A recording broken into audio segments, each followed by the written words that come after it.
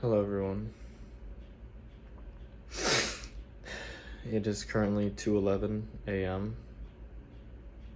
Had a little get together at our house. There was about 15 people here or so,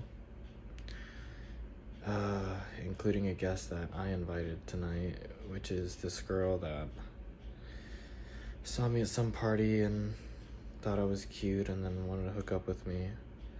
And then we tried, and then, you know, my dick didn't get hard. I think I might have chronicled this in an earlier episode. But today she was like, What are you doing? And I was like, We're having people over. If you want, you could come. And then she came, and it's fine. I was, you know, doing my own little music thing. And then, you know, we eventually go back to my room. And, um, kind of happened again. I, I don't get hard again. I, I couldn't do it. And, um, yeah, but, you know, we're chilling. I was still able to provide some pleasure to her, but, and then later, ended up going out, going all the way. Just happened to, I don't know, just the mood struck right, I guess, this time. And then she stayed for a while and then she left. But what's important is just like about how the whole situation makes me feel. Something is not right here. I feel like a serial killer. Not that I have bloodlust towards people, but that I'm just. I'm inauthentic. With her, I mean. You know, I'm almost like playing a character of you know this this person who she just I don't even know. Maybe I do it with a lot of girls. I just know that it's it's kind of fucked. I don't feel like myself when I talk to her. Sometimes, you know, shines through, but just find myself, I don't know. I think it probably happens with a lot of the girls that I'm with. It's really common for them to just ask me what I'm thinking about and for me to give them a less than completely honest answer because what I'm thinking about is something I don't want to share with them, like how I want them to leave. Ugh. It makes me disgusted to witness my own thoughts when I'm in a situation like that.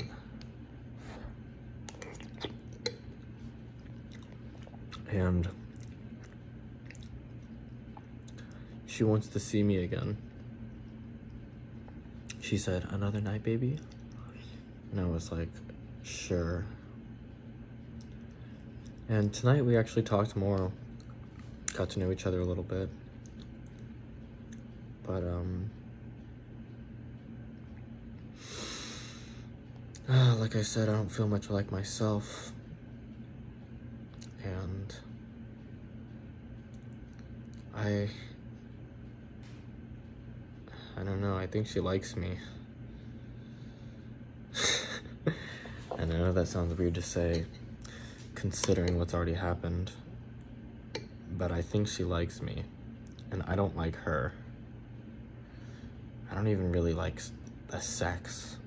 Not that with her it's bad, but it's just like, it doesn't make me feel good.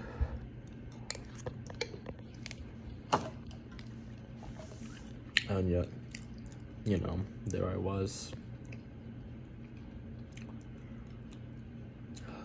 So I guess we'll see how this unfolds, but I mean, it's tricky because I feel like I'm at a crossroads. It's like I could go down this path of just like hooking up with people. You know, I'm a good looking guy. Girls like me.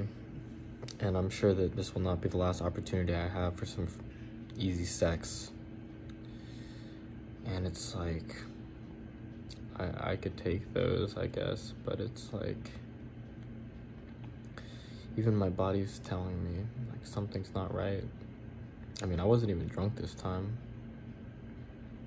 Just wasn't really feeling it. And I feel bad for her. Because she actually seems cool. She seems like a cool person that I wouldn't mind being friends with. But.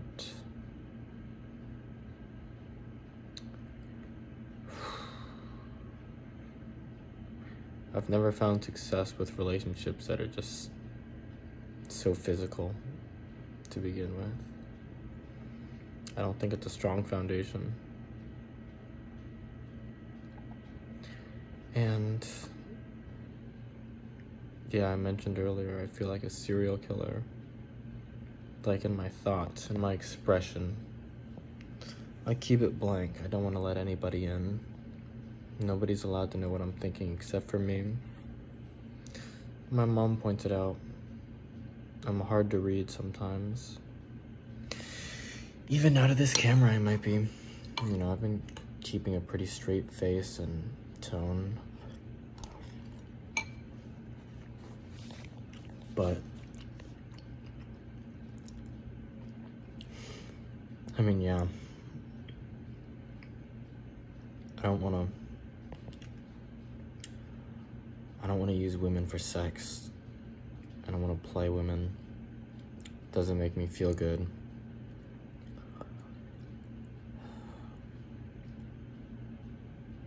And I think it just starts with me being willing to say no.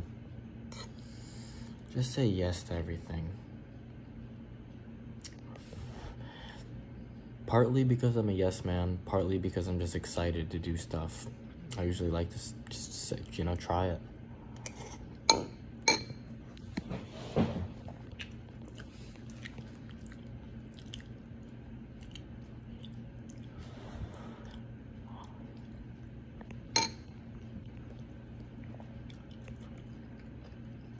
Uh, do I have anything else to say?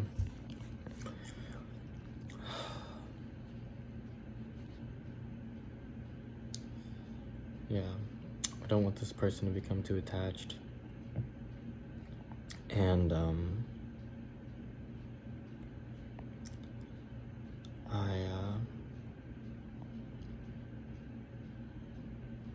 still think about my ex-girlfriend a little bit, my most recent one. I still have this letter from her in my backpack. I haven't thrown it away yet. Although I probably should because there are some risky pictures of her in there. Although I haven't looked at them since we broke up. It's just kind of been sitting in my backpack and I haven't thrown it away.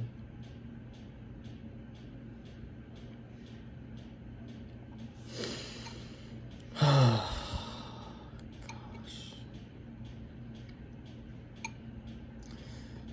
At least I'm getting better at guitar.